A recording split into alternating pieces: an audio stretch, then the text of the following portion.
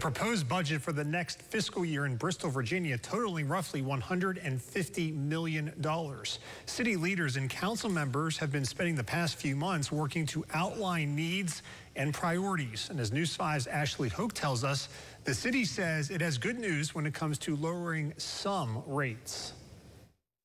The budget is always a, an interesting time. We're trying to figure out uh, what's our budget going to look like as far as revenues coming in, tax revenues from real estate and restaurants and hotels. One big talking point when it comes to budget planning, the Bristol, Virginia landfill and associated cost, including trash rates. That's definitely something that uh, we, as a city council, we've heard a lot from the citizens. Um, it went up last year. We've had a lot of expenses, particularly at the landfill, that we've had to take care of. Last year, it was so hard on our citizens to raise those rates. We hated doing it, but we're at that point with our finances because of the landfill and its expenses um, that we had to find a way to help our residents. City leaders telling me they've been trying to move some money around to figure out ways to help cut costs down for citizens. We have been really working really hard to figure out a way to lower the trash rate um, and keep the real estate taxes the same since we raised those last year. With the cost for trash collection expected to decrease. So the proposal was the trash rate, which is $48 a month, to be decreased by $10 down to $38 a month. So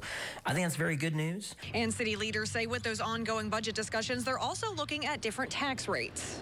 The real estate tax rate, like on homes and, and, and personal property tax on vehicles, that's staying the same. Um, there will be a change in the, the lodging tax. The hotel lodging tax is not really paid by citizens. That's more paid by visitors. Increasing those rates expected to help cover the cost of lowering the price of trash collection. Overall, we looked at it and we found that meals and lodging taxes, raising them a small portion, a small percent, um, 1% for meals and 2% for lodging would help offset that cost. Bristol, Virginia City Council expected to vote formally to adopt the budget on May 28th. Reporting in Bristol, Virginia, Ashley Hoak, News 5, WCYB.